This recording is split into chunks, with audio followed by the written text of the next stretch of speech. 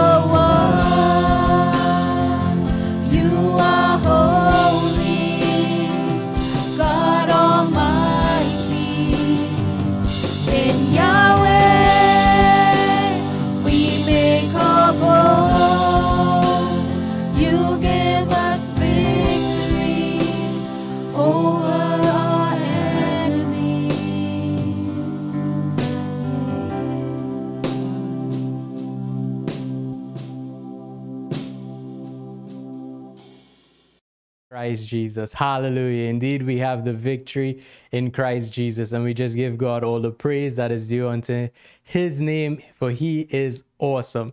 If tonight you agree with me and you think God is awesome, why not type it in the comments? God is awesome. Type it in the comments.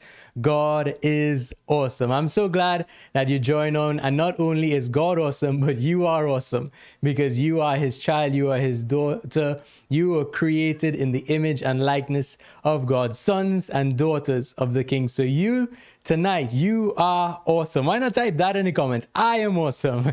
And don't worry, it's not a proud statement, it's just a confirmation of who God sees you are. You are Awesome. So thank you so much for all that are joining on. If you're clicking on for the very first time, we welcome you. For those that are part of our Influence Church family, thank you so much for joining on tonight. And if this is your very first time, why not let us know in the comments and let us know this is your first time. Just say, I'm a first timer. I'm here, I'm visiting, now clicking on anything to that extent. Let us know that this is your first time viewing. And for those of you that are joining on regularly, why not let me know which part of Trinidad, or even if you are viewing outside of Trinidad and Tobago, which part of the world you are viewing from. So don't give me your street address, your house address, but just the area that you're from. So let's see all the people that are joining on from Chaguanas, all the Chaguanas people, put it in the chat. I'm from Chaguanas, or Chaguanas if you're joining on from Chase Village. All the people are joining on from San Fernando, from Port from Grande, uh, from Icacos,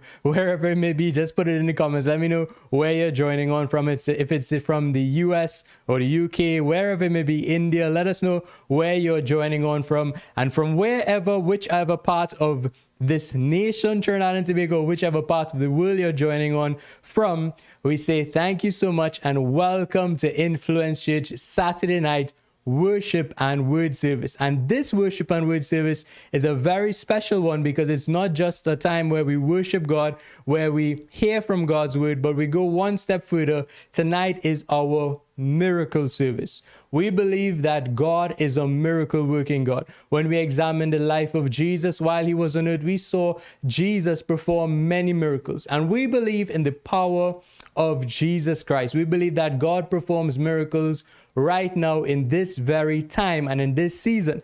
And if you are willing, if you are in need of a miracle, then you've joined on at the right time in the right program tonight in our miracle service. So thanks so much for joining on. If you have not done it as yet, hit that share button so that more persons can be part of our miracle service tonight and can receive from God. So this being our miracle service, I want to turn your attention to the book of Matthew, chapter 14, verses 34 to 36. And I'm going to parallel that passage with a passage from Matthew, chapter 20, verses 29 to 34. So you can grab your notepad, grab a pen so that you can take notes, and let's go to Matthew, chapter 14, verses 34 to 36. All right? So let's read it together. And you could read it out loud, as loud as you want. Uh, you're at home, we're having church at home online tonight. In verse 34, it says, When they had crossed over, they came to the land of Gennesaret. And when the men of that place recognized him, who did they recognize? They recognized Jesus. When they recognized him, they sent out into all the surrounding region. And look what they did. They brought, who did they bring? They brought all that were sick, all, all that they was that they could find in all the surrounding regions of Gennesaret that were sick. They brought them to Jesus. And verse 36, and begged him that they might only look at what they wanted to do. They wanted to touch the hem of his garment. And as many as touched it were made, look at that word there, perfectly well. Put that in the comments. Perfectly well. Are you looking for perfection to be perfectly well? Hey, Jesus can make you perfectly well. And the next passage we're reading is from Matthew chapter 20, verse 29 to verse 34. And it says, Now as they went out to Jericho, a great multitude followed him. And behold, two men, now these two men were blind, two blind men, they were sitting by the roadside. When they heard that Jesus was passing by, they cried out, saying, Jesus, son of David, have mercy on us, O Lord. So they cried out, saying, Have mercy on us, O Lord, son of David. And verse 31 Then the multitude warned them and they that they should be quiet. But they cried out all the more, saying, Jesus, son of David, have mercy on us. And verse 32 So Jesus stood still. He stood still and he called out to them. And he said, What do you want me to do for you? What do you want me to do for you? Verse 33 Then said to him, Lord, that our eyes may be opened. Verse 34. So Jesus had compassion.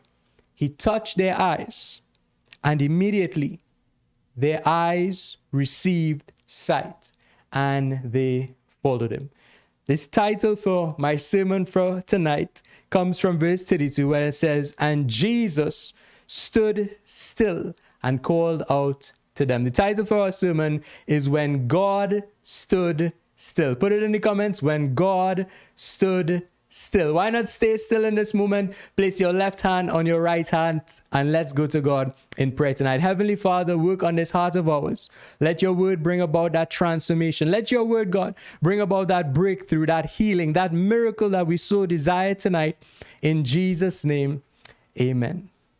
How was your week this week? How was your week? I want to know how was your week this week?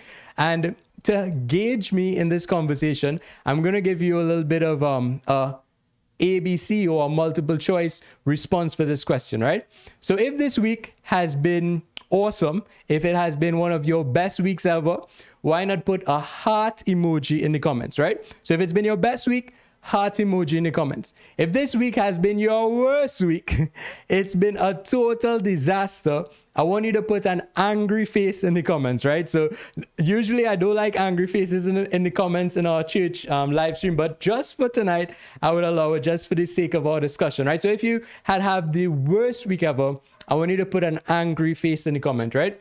And if you've had a week that has had its ups and downs, you know, it's had some good times, but it's also had some bad times. I want you to put a laughing face in the comments, right? A laughing face. So if you've had an awesome week, it's a heart emoji.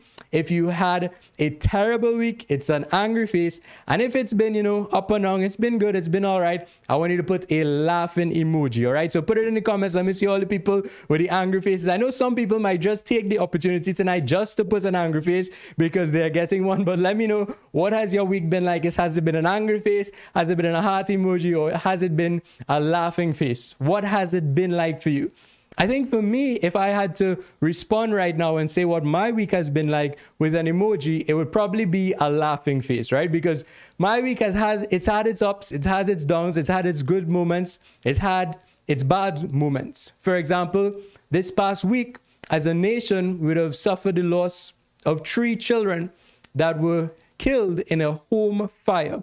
And this family would have lost three of their kids. And nobody can really articulate the kind of pain that that family would have felt and is still going through right now in this period of mourning, having lost their three children in a home fire. This past week, many persons would have gotten test results back that would have said they are positive for the COVID 19 virus. This past week, some families would have lost loved ones to whatever form of sickness and disease. This past week, some persons might have gone to the doctor and the doctor would have given them some bad news or scheduled them for a surgery because there's something going on on the inside of them, something going on in their internal organs that is disastrous to their health. You know, this past week, somebody probably lost their job.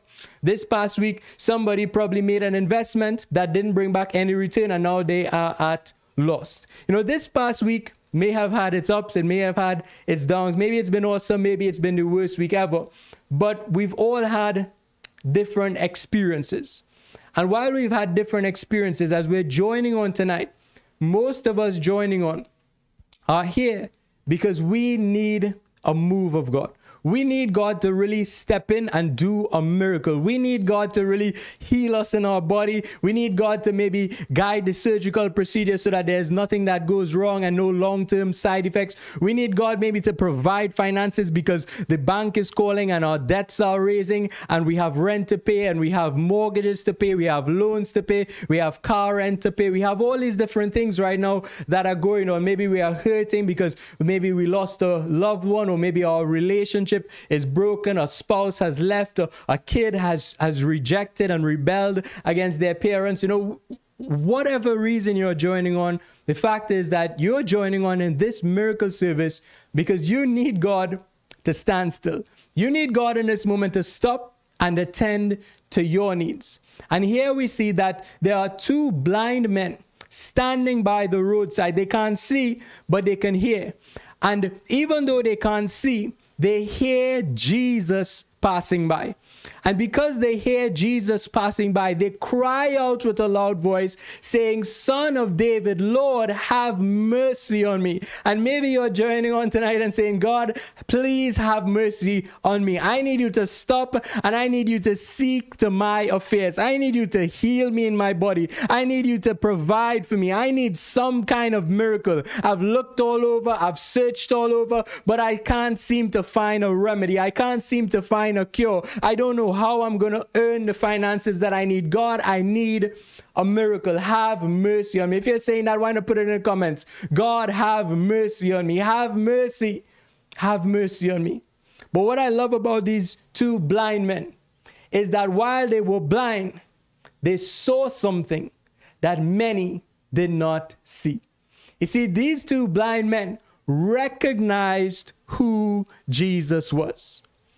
They could have chosen to use their blindness, their ability to not see, as a hindrance for them not knowing who Jesus was. And oftentimes, when it comes to us receiving our miracle, when it comes to us reaching out and ensuring that God stops by and He blesses us, there can be hindrances that stop us.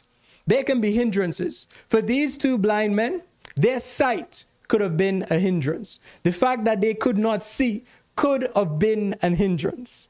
It surprises me how many times I would invite people to church and their response would be, I can't come because I'm sick. I can't come because I have this disability, or I can't come for this specific reason. And the funny thing is that I'm not speaking about people that are shut in and they can't leave their beds, right? I'm speaking about people that are going through a difficult season. But they seem to somehow think that their difficult season hinders them from coming to church when the opposite is true because you are going through a difficult season, you should come to church. Look at this. The blind men, they didn't see Jesus, but they heard him passing by. And oftentimes, it's the same thing that you need healing for becomes the hindrance in your life. The same thing that you need to bring to God is what at times you allow you to keep you away from God. And tonight, it, it's easy because you're just clicking on on a stream, and that's all well and good. But will you surrender your heart in this moment? Will you surrender your issues to God or will you allow them to be a hindrance and say, Well, I can't know God because I can't see? They couldn't see, but they relied on what they could hear. And maybe you have to shift your focus from what you can't do to what you can do, from the weakness that you have to the strength that you have. I've heard studies into the fact that people that can't see tend to have a more developed sense of hearing and smell and touch. So, for these two blind men, for however long they were blind, their ability to hear would have developed a little bit more than the regular Joe, the regular guy that was part of the crowd that day. Because imagine if there's a multitude following Jesus, it's going to be noisy. It's going to be noisy. It's going to be loud. But they still were able to hear that it was indeed Jesus that was passing by. And they didn't allow their disability to disable them from recognizing who Jesus was. The second thing that at times could be a hindrance to us receiving our miracle is the crowd. What does it say? It says that the crowd tried to silence them. So they could have allowed their lack of ability to see to stop them. And they could have allowed the crowd trying to silence them to stop them. But even though the crowd was trying to silence them, the scripture says that these two men cried out even louder. There's like, you try to silence us, then we will shout it out. And I want to know that there's some people joining on tonight that would say, no matter what the crowd says, I'm going to reach out to Jesus because I need a miracle. Nobody can silence me, nobody can stop me. I'm going to shout if I have to shout and say, Jesus, have mercy on me. And they didn't allow the crowd to stop them. And sometimes we could allow religion to become that crowd that tries to silence us. Like, you're not a Christian, you're a Muslim, you're a Hindu, you're an atheist. You shouldn't be going to Jesus. You shouldn't be asking Jesus for a miracle. You shouldn't be going to church. You shouldn't be asking the pastor to pray for you. You shouldn't be asking for, for something from this God of Christianity. And sometimes we could allow religion to be that crowd. Sometimes we could just allow our friends and family members that really just don't see us moving out of the place that we're struggling with and saying that, hey, you just got to cope with it. You just got to accept this as your reality. This is what you're going to live with for the rest of your your life. And you got to stop and say, hey, hey, this crowd cannot silence me. I know that Jesus can do a miracle. And I'm going to shout out and say, Jesus, son of David, son of David. Why was that so important? Son of David. These men were blind. They could have never seen what Jesus looked like, but somehow they knew from what they would have heard that he was the son of David. Why was that so important? It was that these two men weren't able to see, but somehow they understood Jesus's lineage. They understood where he came from. Because for most people, they didn't recognize Jesus as son of David. they recognized Jesus as the carpenter's son. They recognized Jesus as Mary's son. But these two men recognized that Jesus was the son of David. Why was that so important? Because it was a prophetic word that out of the lineage of the King David, the greatest king to ever live, out of David's bloodline would come one who would be the king to lead the people, and he will be the Messiah, their savior and deliverer. And while many other people at that time saw Jesus as only a teacher, they saw Jesus as only a great man. These two blind men realized that this was the Messiah. They shouted out, Lord, Son of David. They understood this is the King. This is God with man, Emmanuel. This is the one that came to save us and redeem us. And I wonder tonight if you would recognize who Jesus is, because the first step to your miracle is recognizing who Jesus really is. He's not merely a man, He's not merely a human being, He is the Son of God. He is God Almighty. He is seated on the throne. He reigns supreme. He is Creator God. He is the King of Kings. He is the Lord of Lords. And He's here and He wants to do a miracle in your life. But will you stop and recognize this is the Son of David? They recognize who He was. That is so, so important. That is so important, right? Because in Matthew chapter 13, verses 54 to 58, Matthew chapter 13, verses 54 to 58, it says that Jesus, now it came to pass, he had finished the parables that he was teaching, and he departed from there. Verse 54, look at this. When he had come to his own country, he went to Nazareth, his own country. He taught them in their synagogue. So they were astonished and said, Where did this man get this wisdom and these mighty works? Look at it, look at it. Is this not the carpenter's son? Is this not is not his mother called Mary? Isn't she the one that claimed the Holy Spirit, conceived a child in her? Isn't that this boy's mother? And his brothers are James and Joseph, and Simon and Judas. And his sisters, are they not all with us? Aren't they just the regular guys down the street? Aren't they just part of this community, part of Nazareth, a place that nothing good can come from? Aren't they just these regular folks? How come he knows so much? How come he performs such great miracles? And look at what happens. Jesus said to him, A prophet is without honor except is not without honor except in his own country and in his own house verse 58 for me this verse breaks my heart.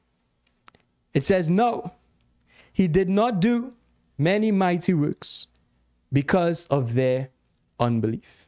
They didn't recognize who Jesus was. All they could see him as was the carpenter's son. All they could see him as was Mary's child. All they could see him as is just another guy from Nazareth, a no name town. That was all they could see him as. And because of that, the Bible says he could not perform many mighty works because of their unbelief. If in this moment you have unbelief, in this moment you don't think that Jesus is God, you don't think that Jesus could perform miracles, I want to assure you right now, I want to stir up your faith because as you recognize who he was, these men were blind, but they could see spiritually. This was the son of David, this was the son of God. And this moment you might be able to see, but I want your spiritual eyes to be open and for you to recognize who Jesus really is. Because when you recognize who he is, then he can perform many mighty works in your life. And Jesus came to perform many mighty works. He went to Nazareth to do many mighty works, but because of their unbelief, he could not.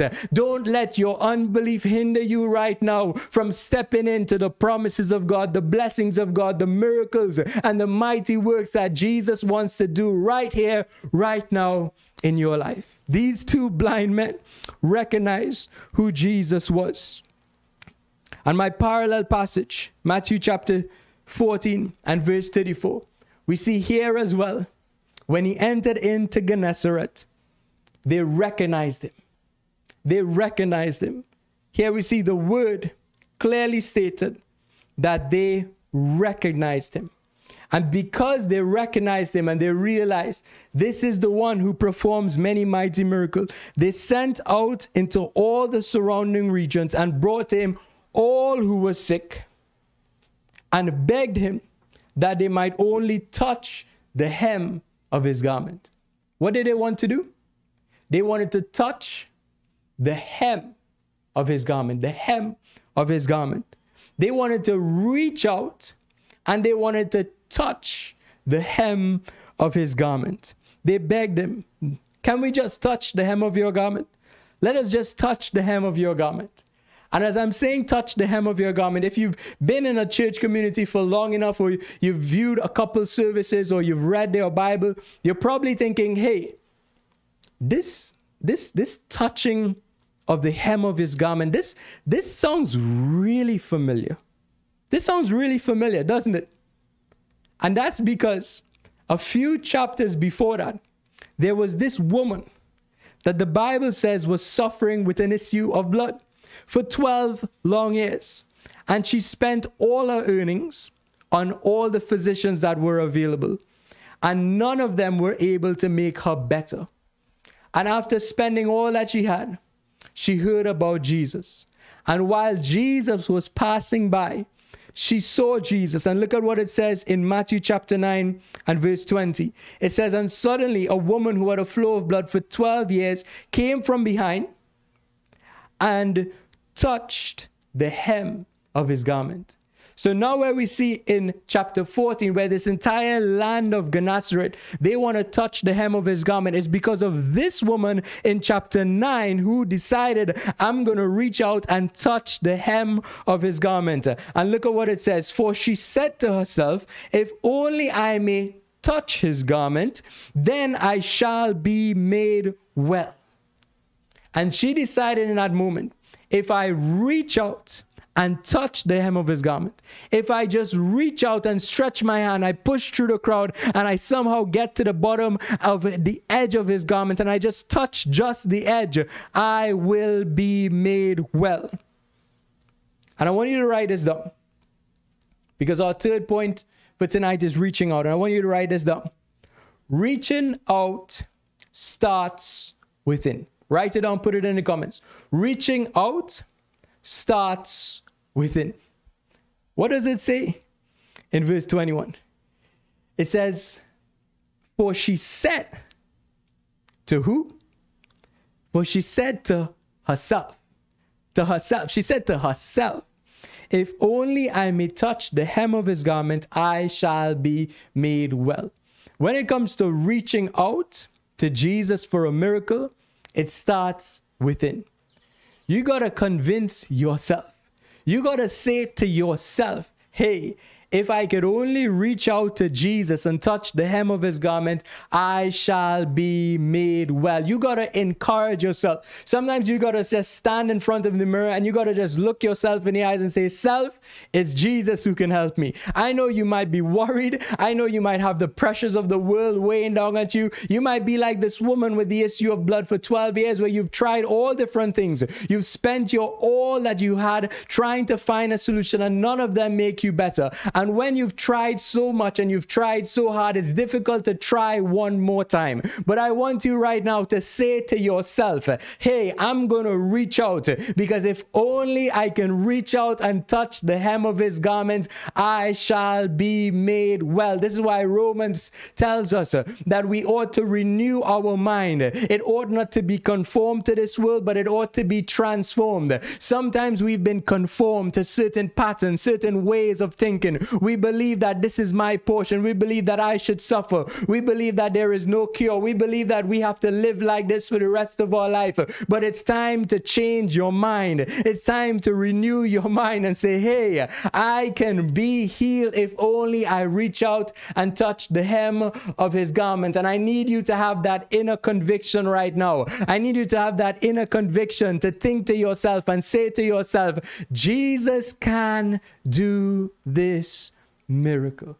Why not type it in the comments? Jesus can do this miracle. Jesus can do this miracle. She said, If only I can reach out. And because of her reaching out and touching the hem of his garment, we have an entire nation of Gennesaret, all the people there that are sick, that are just saying, I want to just reach out and touch him. We have these two blind men that cry out and say, Jesus, son of David, have mercy on me. And Jesus stood still. God stood still. And he shouted out back to them, What can I do for you? What can I do for you? I want you to know that right now, Jesus is saying, What can I do for you? What can I do for you?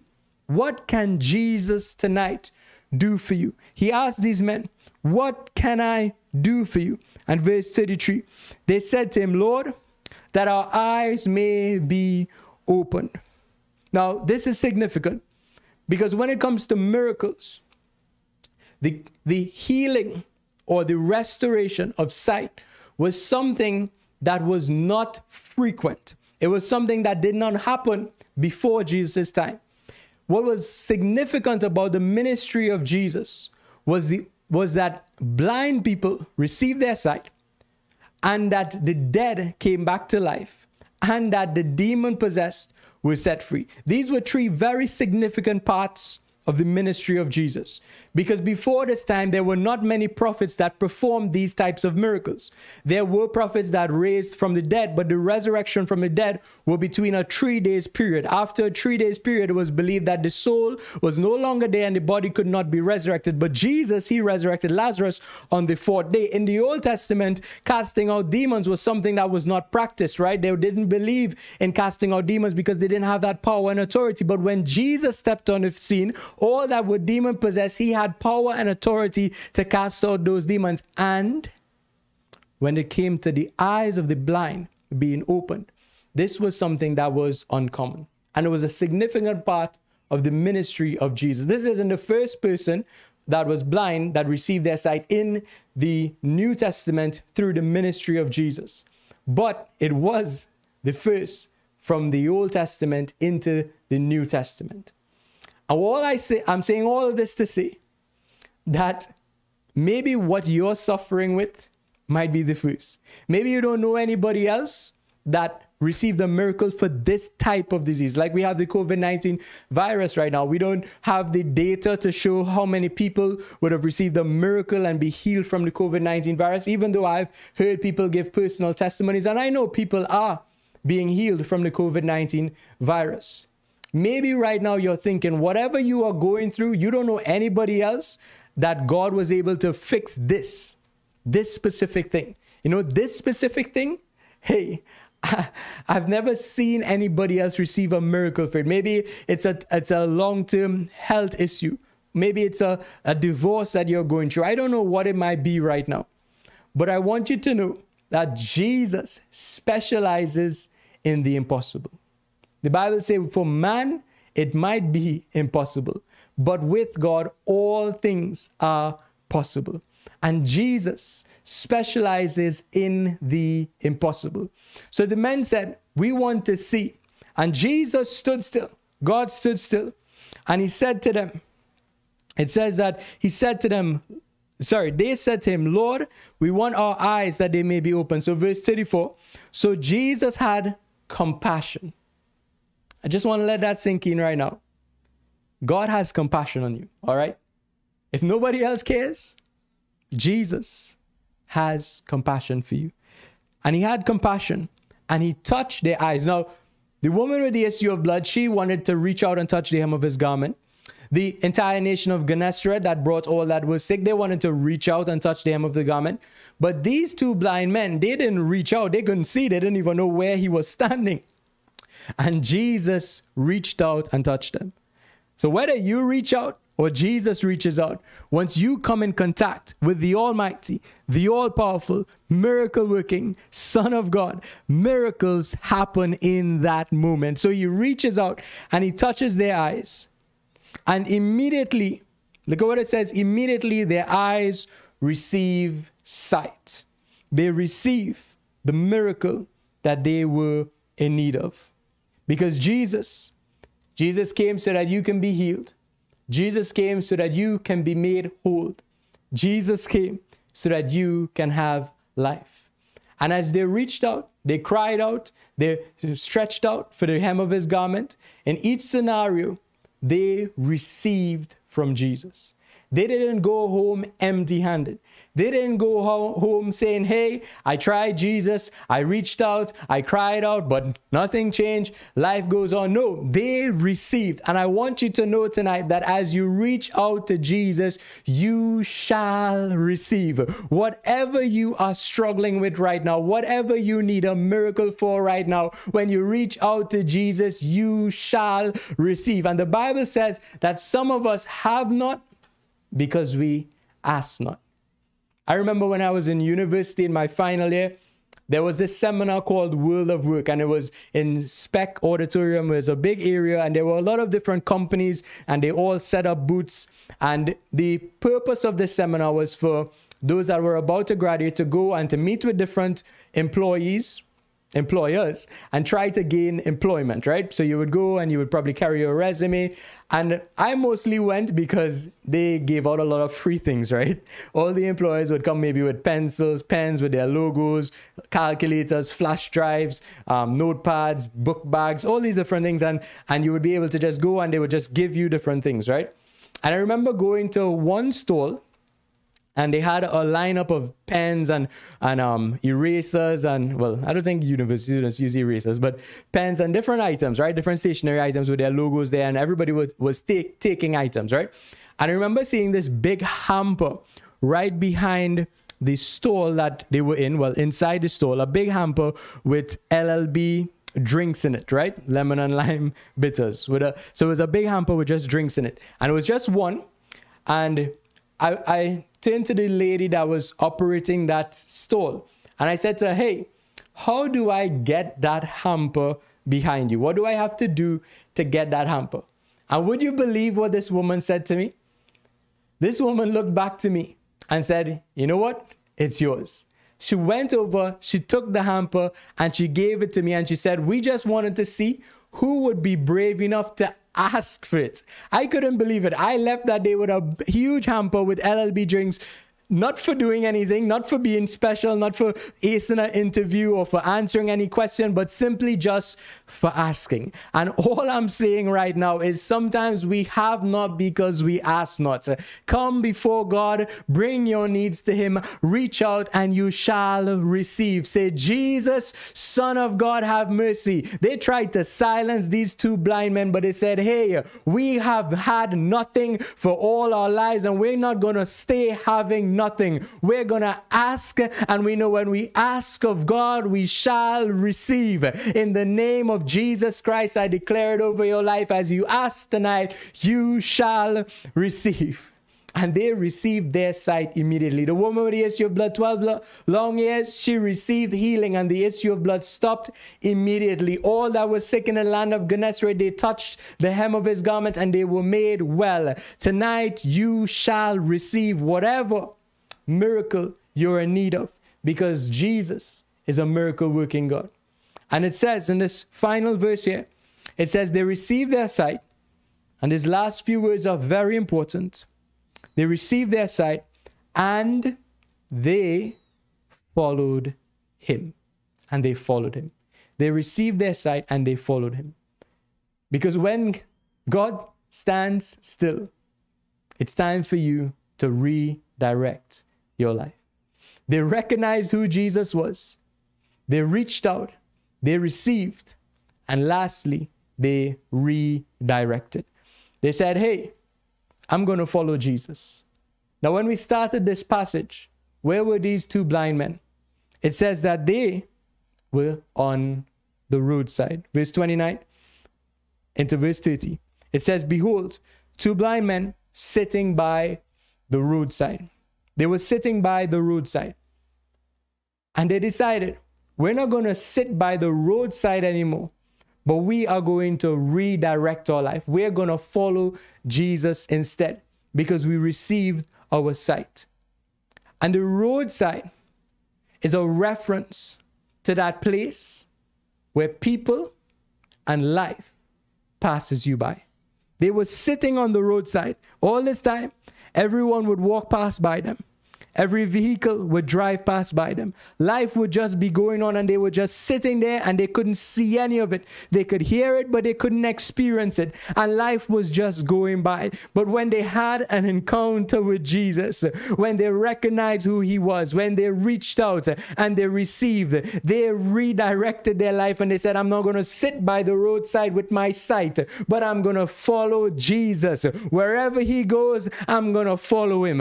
And the roadside refers to that place where life just passes you by. Sin at times can be that place that keeps you by the roadside, where life is just passing you by. Sickness at times can be that place that keeps you by the roadside, where everything good is just passing you by. But when you have an encounter with Jesus, when you receive from Jesus, that's the moment to redirect your life, to say, I'm going to move from the roadside to being on the right side. I'm going to follow Jesus wherever wherever he goes. Whatever he tells me to do, I'm going to do it. And these two blind men didn't stay by the roadside anymore, but they got up and they followed Jesus. And I want you to know tonight that as you reach out and as you receive from Jesus, it's time to redirect your life. It's time to repent. Repentance is turning away from the direction you were heading and heading the right direction. It's time to turn your life around and say, Hey, I'm not going to let life pass me by. Because when Jesus comes into your life, that's when you start living. For the thief, he came to steal, to kill, and to destroy. The roadside is that place where Satan steals from you. He tries to kill you, he tries to destroy you. But when Jesus steps in, when Jesus takes your hand, when Jesus touches your life, and he says, Get on the right side, that's when life comes, and when life comes more abundantly because Jesus came to bring life and to bring it more abundantly. So tonight, it's time to redirect. You are made righteous in Jesus Christ. And it's when you receive Jesus, that's when you really start living. These men recognized who Jesus was. They reached out, they received, and they redirected their life. And tonight, the greatest miracle of all, the greatest miracle is for you to redirect your life and start following Jesus. That's the greatest miracle. Salvation is the greatest miracle. To know that you can have life and have life more abundantly in Jesus, that you can have a place in heaven, that is the greatest miracle that anyone can receive from God. And tonight, if you're saying, hey, I recognize who Jesus is, I want to reach out, I want to receive, but most importantly, I want to redirect my life. I want to start following Jesus. I don't want to sit by the roadside anymore and let life pass me by feeling purposeless, aimless, hopeless. But I want to find completion in God. I want to find fulfillment in God. I want God to direct my steps. I want God to bless my path. I want God to open doors of opportunities. I want to fulfill my purpose and find my destiny in Christ Jesus. If you're saying right now, yes, I want to redirect, then I want you to stop because God has stood still. And I want you to stop in this moment. I want you to place your hand on your heart. And if you're saying, Yes, I want to accept Jesus into my heart, I'm going to lead you in a prayer right now. And as you pray, God is going to hear your prayer and He's going to answer and He's going to redirect your steps. Let us pray. Heavenly Father, tonight I recognize who Jesus is. He is the Son of God. Tonight, I repent. I turn away from my sinful ways. I ask God that you forgive me of all my sins. In this moment, I invite Jesus to be Lord and Savior of my life. And I commit to serving Jesus from this day forward. In Jesus' name I pray. Amen. Hallelujah. Hallelujah. Tonight, I know faith has been stirred up in this moment. I know you want to receive a miracle from God. Like these two blind men, you want to see once more. You want to get up and follow Jesus. Like the woman with the issue of blood, you want it to end. You've tried all different solutions, but it didn't work. And you want to try Jesus because you believe if you just reach out and touch the hem of his garment, you shall be made well. Tonight, you want to reach out and you want to receive. And I'm going to pray for you. And I do believe that as we pray, that the power of God is going to fall upon you right now in your homes, wherever you're viewing from. It doesn't matter that we're not in the same room. God is not limited by space or by time or by location. He's going to come right now and He's going to touch you. As you reach out and you touch the hem of His garment, power is going to be flow from God into your life and you're going to receive your miracle in this moment. So I want to invite you right now to stand to your feet if you've been sitting. I want you to stand. I want you to lift your hands and I want you in this moment to set your focus on God because reaching out starts within. And I want you to say to yourself, hey, self, Jesus can do this miracle. I want faith to stir up right now. As you recognize who He is, I want your faith to stir up right now so that you can reach out and you can receive from Jesus. And as you lift your hands, I want you to just set the atmosphere in your home by just giving God some praise by saying, God, I worship you. I lift your name on high. I bless your name. I believe in you, Jesus. I'm reaching out. Close your eyes. God, uh, forget who's around you. Close your eyes and just start praying and praising God. And we're going to sing Waymaker in this moment. And as, as the worship team sings, I want you to join along with them. I want you to lift your hands and just really worship God with all your heart, with all your soul, with all your might right now. Just lift your hands and just praise Him and just sing out Waymaker because He is a miracle worker. He is a Waymaker. So join me right now. Lift your hands to heaven and let's begin praising God in this moment. Hallelujah.